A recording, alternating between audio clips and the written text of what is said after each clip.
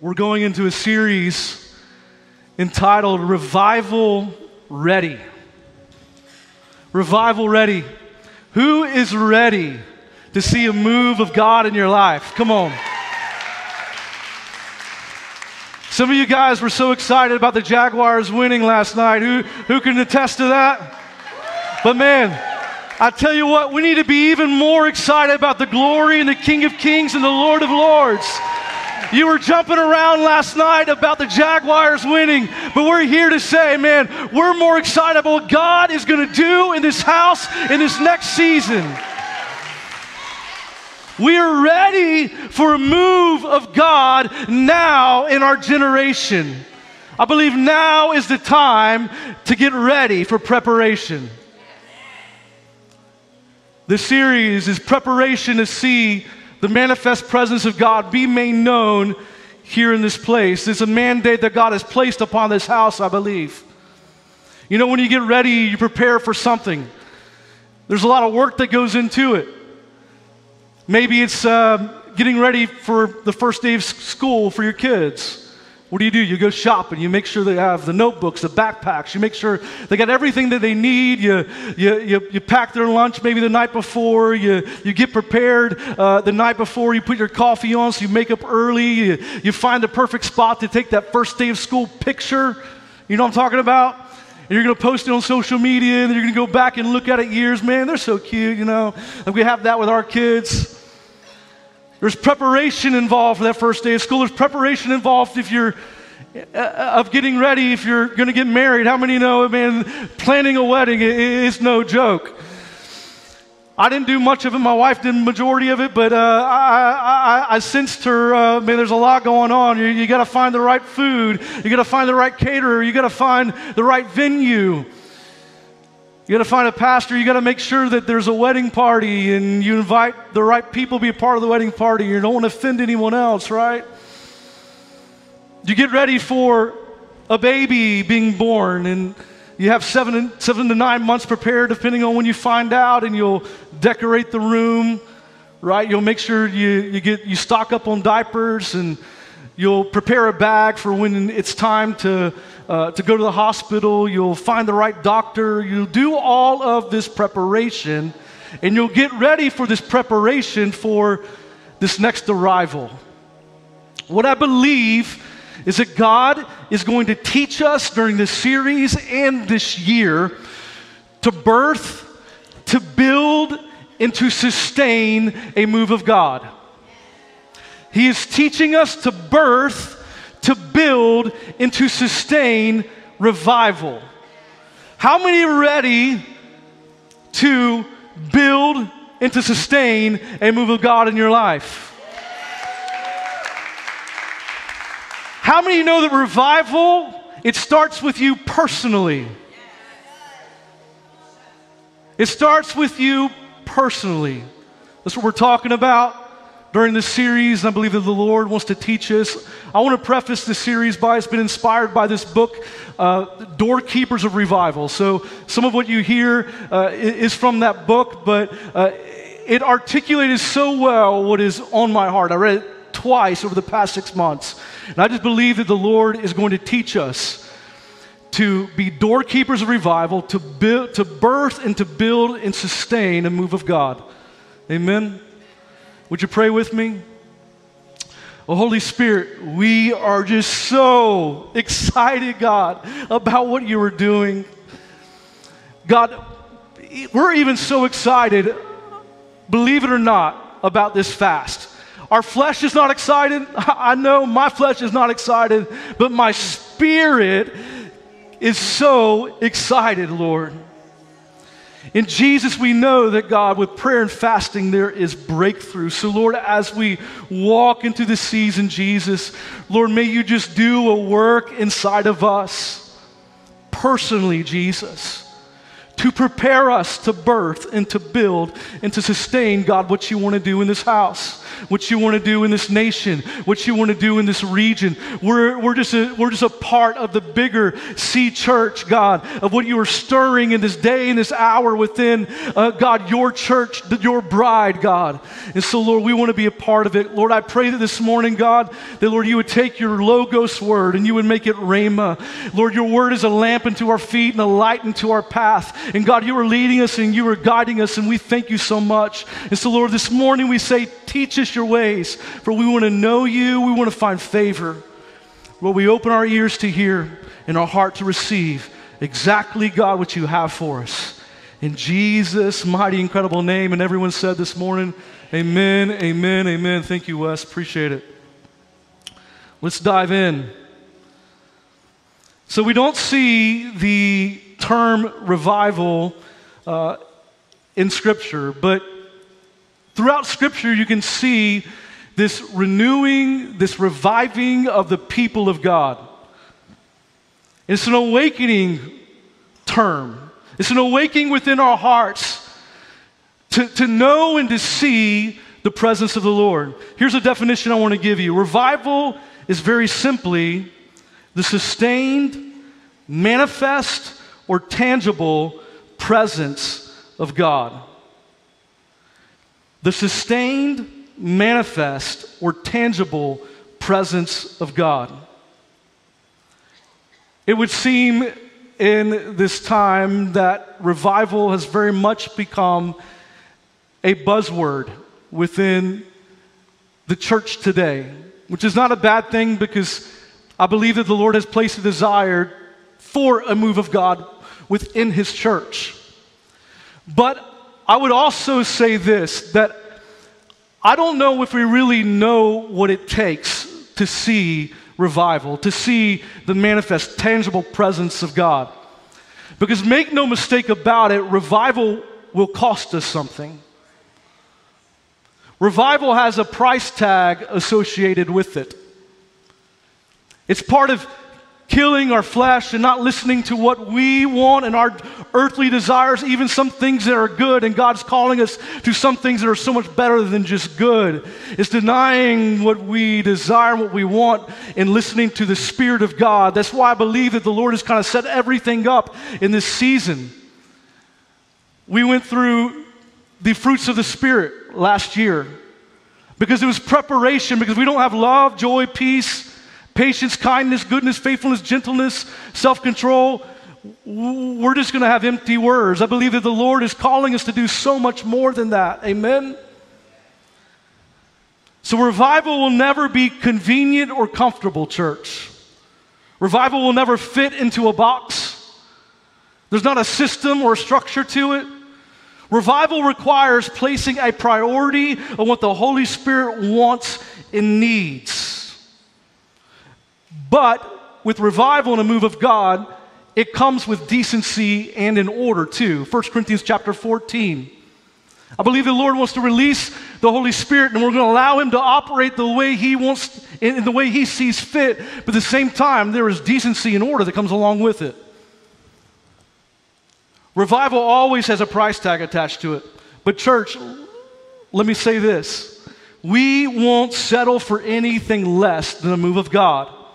We must be focused, fervent, and fight for it. We must be aggressive, but at the same time, we must be reverent. We must be reverent. But one thing we can't be is we can't be neutral. One thing we cannot be, church, if we're wanting to see this move of God in our time and in our generation, is to be lukewarm Christians.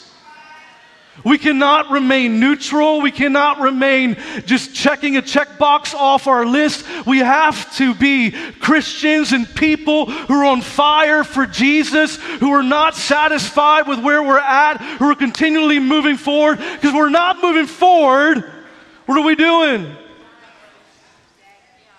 We're dead. We're declining. We cannot be lukewarm. God is calling us to so much more. What I believe is, and what I've seen here at Journey is we've, you know, we've experienced incredible moments in His presence. We have.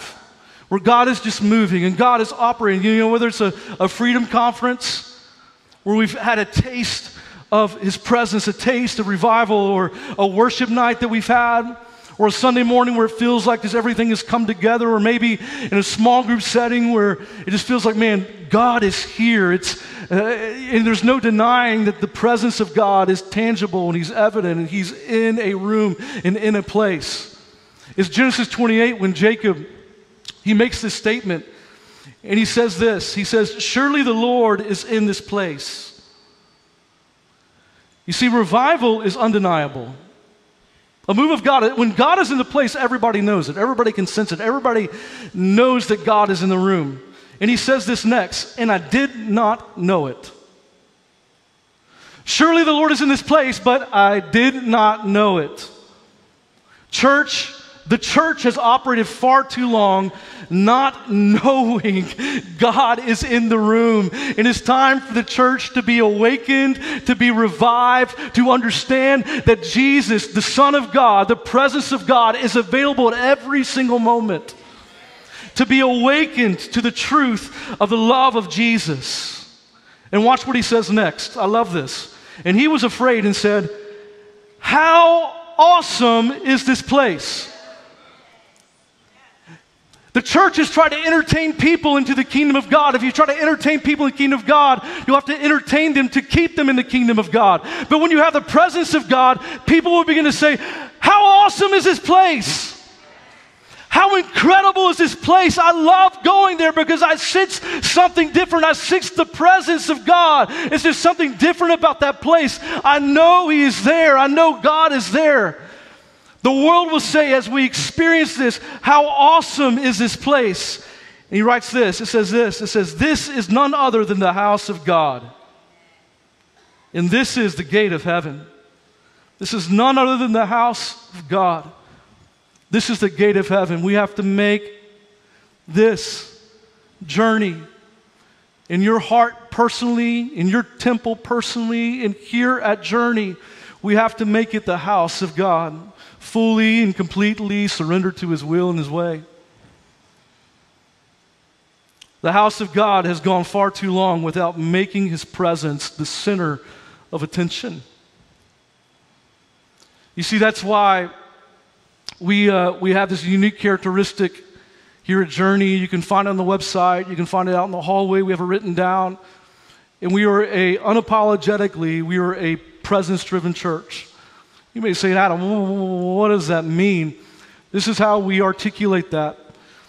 We are not built around a person. It's not built around me or another staff member or, or anyone else, but what are we built around? We're built around the presence of God. Well, why do we gather here? We gather here for Jesus. We gather here for Him. We don't gather here for me. We don't gather here for Pastor Eric. We don't gather here for anyone else. We gather here for what? We gather here for the presence of God. Which our vision is this is to build a community of people that's life around the presence of God. As we build a community of people that loves God, to love the Lord your God with all your heart, with all your soul, all your mind, and with all your strength. And as we build a community of people that loves others well, and we do that around the presence of God. What ends up happening is our mission. It just happens naturally. Our mission is to see our cities transformed by the power of the gospel for the glory of God in our generation. You see, some of you might be saying, well, Adam, that uh, uh the, the vision is great and stuff, but what about the least of these? What about those, the, the orphan and the widow and, and, and those who are struggling? What, what about those people? What I would say to you is this the text in Matthew where it says, Seek first the kingdom of God and his righteousness, and all these things will be added unto you. Listen, my heart is burning to get outside of these walls and to meet the needs of others who are hurting and broken. We have to do that, but it comes from a place of just saying, Lord, I seek you first, and then I'm going to be able to do the work in a way that, man, imagine what would happen in our communities if we seek the presence of God and we allow the compassion within our hearts to then transform people by meeting the physical needs of others, meeting uh, uh in compassionate ministries. Amen? Seek first the kingdom of God and his righteousness, and all these things will be added unto you. Just imagine the impact we can make on others when we combine our hearts of compassion with the power of his presence. Because, church, we will see the power of the gospel radically transform our cities. I believe it. I know it. But it starts with us chasing after his heart. So, how do we build this revival culture? How do we get revival ready? You know, we all have, uh, have moments in life that just tend to mark us, right? Where we have this experience with the Lord, it's like, man, my life is forever impacted and changed. And I pray maybe you're in this room and you haven't, if you haven't had a moment like that, I pray that today would be a moment like that. But I had one of these moments back about 12 years ago. My wife and I went on vacation uh, to New York City, and uh, my wife was pregnant at the time, but we were just uh, we were just excited about uh, touring New York and looking at it was Christmas time, so we're looking at Christmas decorations and just having the time of our lives. But we decided to go to a church called Times Square Church in New York City that Sunday morning while we were on vacation. And I remember as we're walking up to the building, I just began to feel the presence of God. And I was like, okay, this, this, is, uh, this is an expectancy with my heart, maybe. I began to walk into the door, and the first person that I greeted, it just felt like, man, the Lord is incredible. The Lord is here. And I, I, promise you, I don't remember what was said. I don't remember what was spoken. I don't remember what songs they sang. I don't remember anything else. But I just remember just wanting to weep the entire time I was there. Because I knew that, that God was in the place, but why? So it was David Wilkerson's church. David Wilkerson founded a teen challenge, but he's known to be this man of prayer. His church was a praying church. They had prayer meetings set up at all times. They, they just went after the Lord. And so the results of that fruit of building a literal house of prayer was when people walked up and got into the church, you literally just felt the power and the presence of God. How cool would it be? And I believe this has already happened to a level degree, but I believe it's going to happen even more. I've heard testimonies of this. Is when people pull into the parking lot, they immediately just feel the weight and the glory of God. They immediately just want to repent. They immediately just want to turn to Jesus because the Lord is in this place. It's that, that same moment that Jacob had. Surely the Lord is in this place. So, talking about this revival culture, we're going to be looking at different ways of building this, but the one, number one and primary way that it happens is through prayer. It's going to happen when we become a people of prayer, when we make this literally a house of prayer. The phrase house of prayer is in Isaiah 56, where it's used twice. Isaiah 56 7 says this These foreigners I will bring to my holy mountain and give them joy in my house of prayer. Their burnt offerings and sacrifices will be accepted on my altar, for my house will be called a house of prayer. For what? For all nations. Notice that. It's not for us to keep in, but it's for what? For us to give away for all nations. Now we see this again in Mark chapter 11 when uh, Jesus goes and he chases out the money changers of the temple. I want to read this passage in its entirety and then we're going to spend the remainder of our time here. Mark 11, 12 through 24, it says this. Now the next day when they had come out, of, come out from Bethany, he was hungry. And seeing from afar a fig tree having leaves, he went to see perhaps he would find something on it. When he came to it, he found nothing but leaves, for it was not the season for figs. In response, Jesus said to it, Let no one eat from the fruit from, from you ever again. And his disciples heard it. Verse 15. So they came to Jerusalem. Then Jesus went into the temple and began to drive out those who bought and sold in the temple and overturned the tables, the money changers, and the seats of those who sold doves.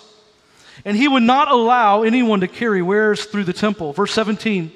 Then he taught, saying to them, Is it not written, My house shall be called a house of prayer for all nations? But you have made it a den of thieves. And the scribes and chief priests heard it and sought how they might destroy him. For they feared him because all the people were astonished at his teachings. When evening had come, he went out of the city. Now, in the morning, as they passed by, they saw the fig tree dried up from the roots. And Peter, remembering, said to him, Rabbi, look, the fig tree which you cursed has withered away. So Jesus answered and said to them, Have faith in God. For assuredly I say to you, whoever says to this mountain, be removed and be cast into the sea, and does not doubt in his heart, but believes that those things he says will be done. He will have whatever he says. Therefore, I say to you, whatever things you ask when you pray, believe that you receive them and you will have them. I want to give you three things this morning from this text that I that, that was pointed out to me by the Holy Spirit. Number one, number one, Jesus demanded, he demanded his house to become a house of prayer. Jesus demanded that his house become a house of prayer. Mark 11, 17. Then he taught, saying to them, Is it not written, My house shall be called a house of prayer for all nations.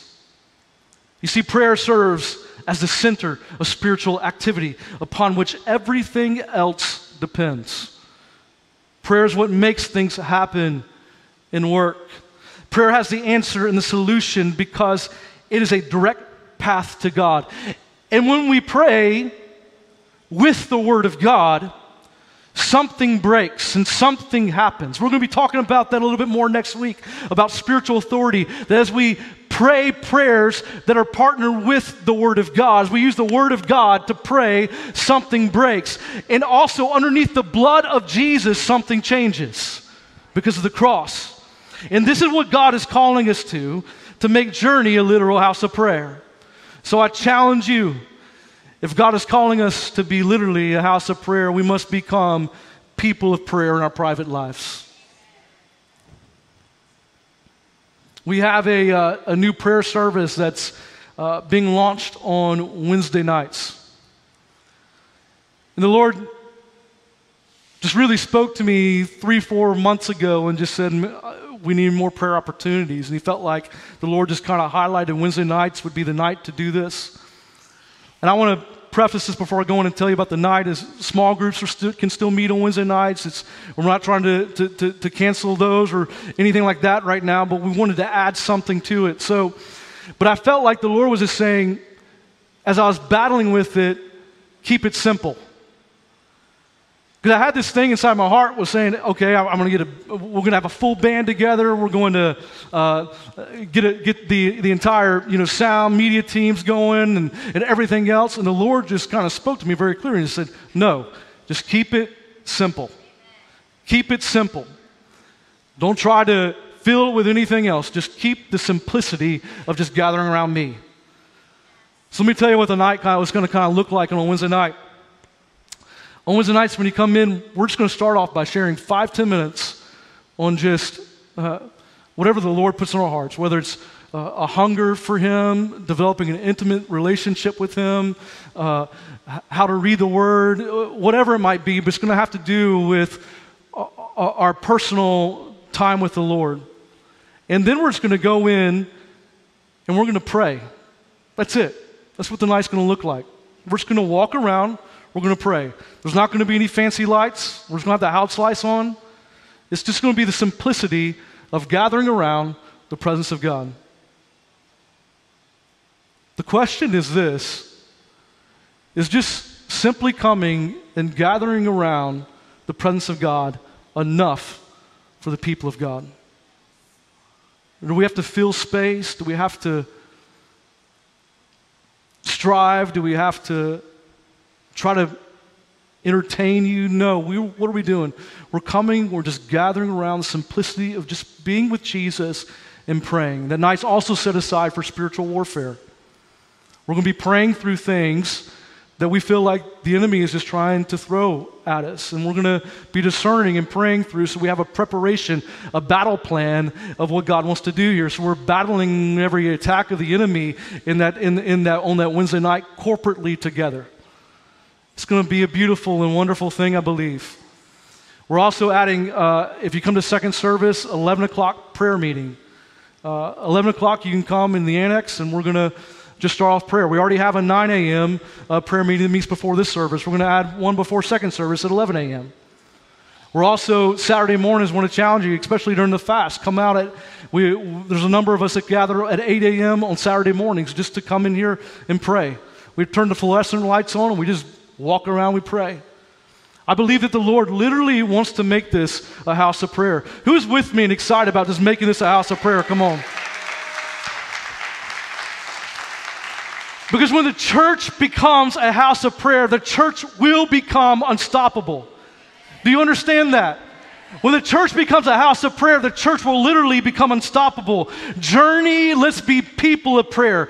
Because hell, it isn't nervous at our knowledge, our titles, or our talents, but it trembles, it moves out of the way, and it must obey when there is blood bought believers seeking after him and who are on their knees. So if I were the devil, this is what I would do I would make every believer lazy in prayer, I would make them too busy to pray pray. I would make them believe that the prayer meeting is the boring meeting, that God doesn't hear nor answer my prayer. If I were the devil, I would cause churches to run to everything else except prayer and prioritize everything else except the prayer meeting. Because when the people of God pray, I'm telling you, miracles will happen. I'm telling you, the prodigal will return and come home. I'm telling you, lives will be set free when the people of God pray. There is power when we pray. Which leads me to point number two. Jesus displayed the power of prayer here in this text. Jesus displayed the power of prayer. In verse 13 and 14, Jesus curses this fig tree. He comes back. And the disciples, they notice this. It says this in verse 20. Now in the morning, as they passed by, they saw the fig tree dried up from the roots.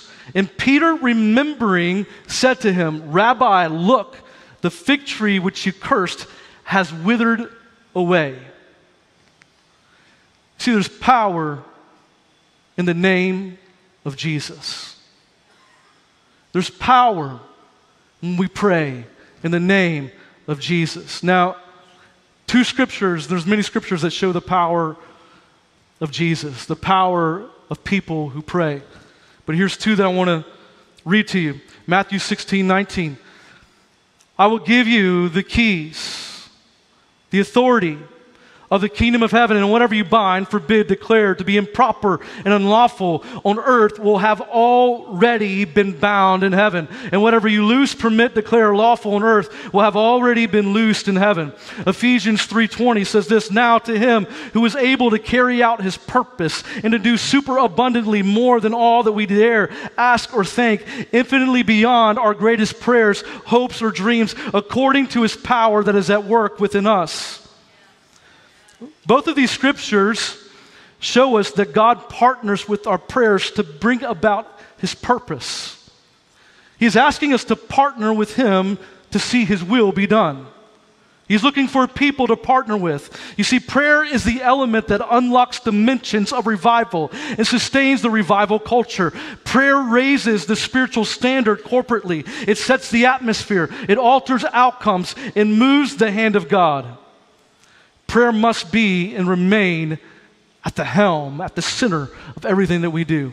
There is power in prayer, church. There is power when the people of God pray. My sister, she got pregnant with her third child about eight years ago. And at the first ultrasound, as they looked at the x rays, they, they found this mass on the outside of her placenta. I've shared this story before. I want to share it again. It's been a number of years. they found this mass on the outside of the placenta that was growing. Now, the doctors told my sister, you, you got to abort the baby. You can't carry this baby to full term. It's going to threaten your life, it's going to threaten the baby's life. And uh, it's not smart to continue this pregnancy. You've got to, you've got to abort the baby. My, and my sister said, No, I'm, not aborting this baby. I'm going to carry this baby to full term. I'm going to trust God to do something.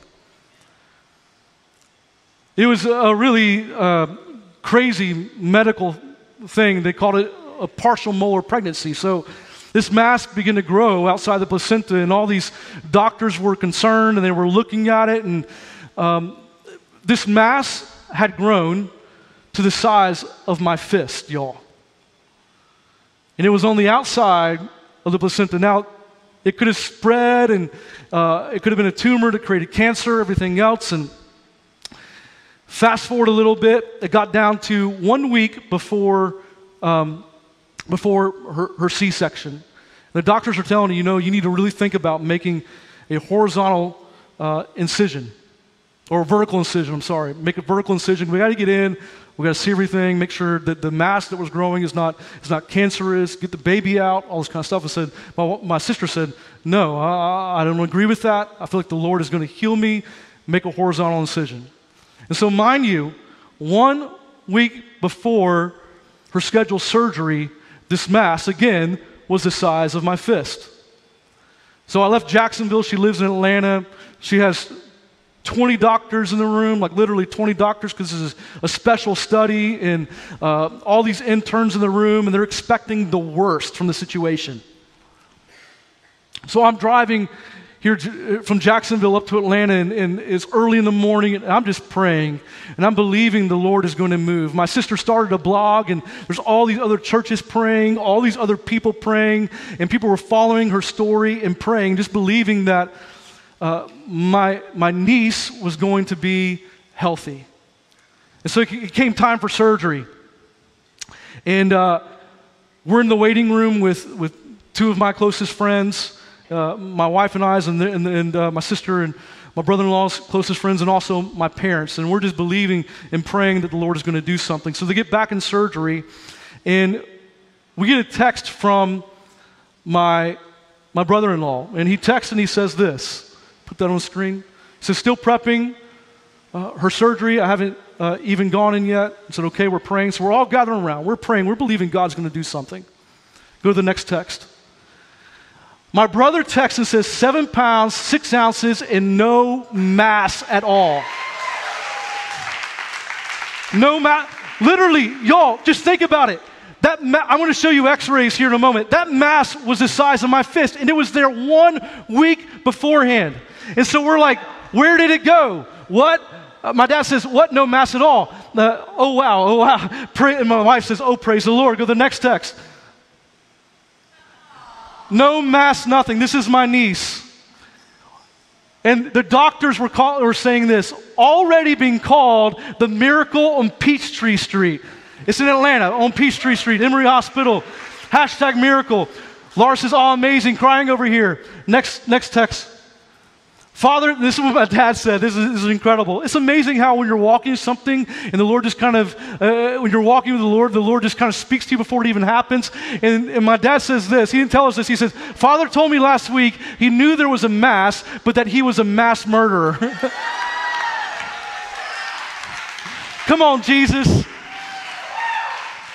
And they're saying they're not even testing the placenta. It's just it's incredibly normal. Their doctors saying prayer changes things. And one said hashtag miracle. Wow, God be the glory. So the doctors were expecting the absolute worst thing to happen. But literally, our God is the same God today as he was yesterday, and he will be forever. Our God's a miracle working God. And he literally it wasn't like the it wasn't like my niece was just fine or my sister was just fine and they took out the mass. No, he decided just to remove the mass altogether and astonish the doctors.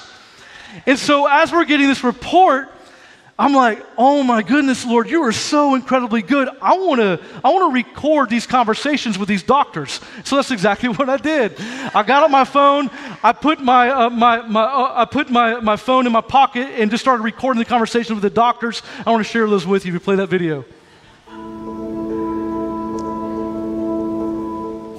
My goodness. I. I don't know.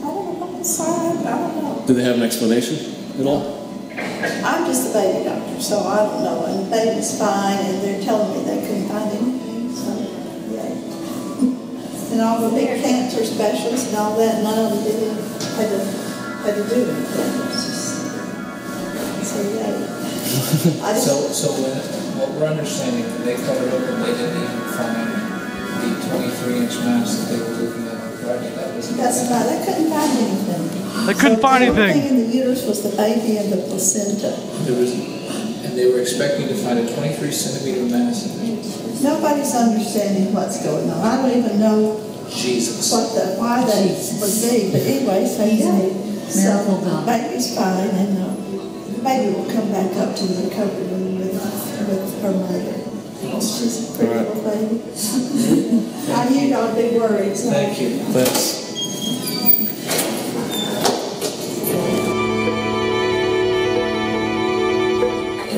So, un- unexplainable. They- It just the- vanished. The twenty-three It was huge, inch mass, centimeter mass. It's gone. which is like this And did they do any tissue? uh, We, so we sent the tissue out placenta, we sent the whole placenta to pathology, and even the pathologist said it looked so grossly normal that they didn't even do a frozen, they just sending it for permanent. So frozen would be immediate results, Right. but they didn't. They saw that as early as, as late as Friday. I understand. Did you see it As late as Friday? Yeah, I saw the images too. Dr. Krishna showed me. We're all in like amazement. It is amazing. That's my mom. It's so amazing. Crying. If anybody in the room didn't believe Our God is know. a mass murderer. yes. Somebody was like, maybe the baby ate it. I don't know. I'm just sign- kidding. no the baby sign was beautiful, No sign of it perfect. anywhere. No, like after we took the placenta out, you know, we really felt, Everything's perfectly normal. yeah, we felt on the inside that you were good. We even tried to look inside there. There wasn't anything outside or the abdominal cavity. And um,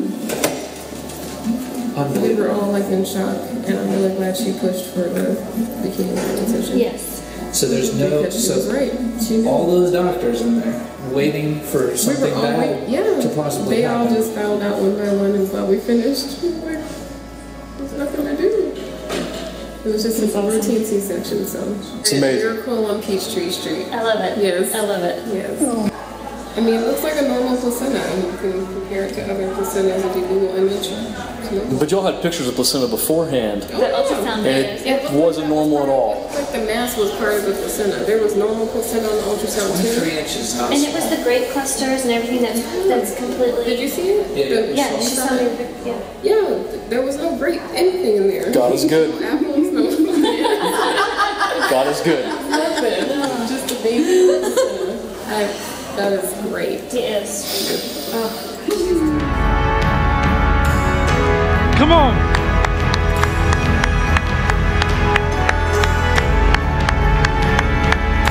We serve a miracle working God, church.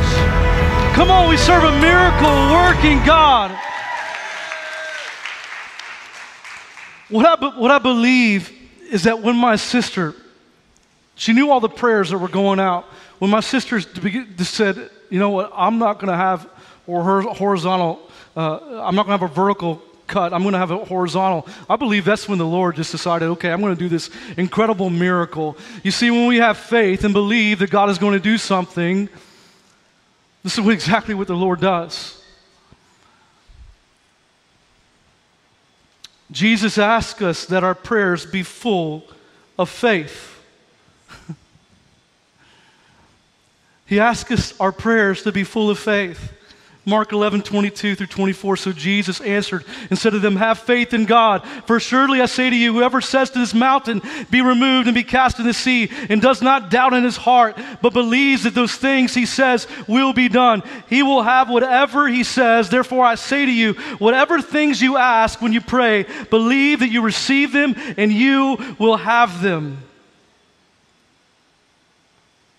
A mountain here is symbolic of an obstacle in his way. And when we believe and we have faith, God can move a mountain, church.